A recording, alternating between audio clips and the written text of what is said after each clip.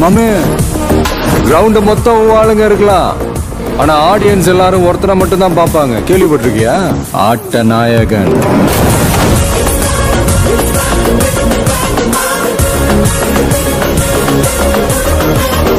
Power சீட்ல இருக்காது sir அதுல வந்து ஒருத்தன் உட்கார்றான்ல அவன்கிட்ட தான் இருக்கும்.